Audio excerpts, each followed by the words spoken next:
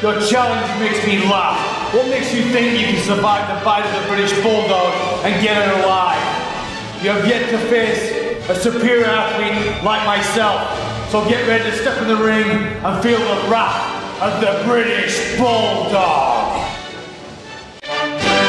You're the piece of the trash in the World Wrestling Federation could never be the championship material that I am. If you think you've got what it takes to put the choke chain on the British Bulldog, then think again. When I get through with you, there better be enough of you to scrape off the floor when you feel the wrath of the Bulldog. You may have got lucky this time, but there's no way this Bulldog is going to stay chained up for long.